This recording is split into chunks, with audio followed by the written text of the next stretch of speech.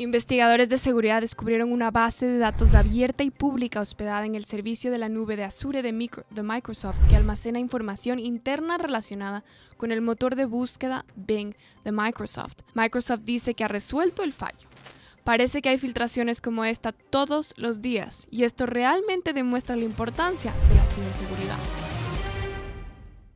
Si te gusta lo que ves, no olvides darle like al vídeo y suscríbete a nuestro canal de YouTube y nuestras redes sociales en Stream Media.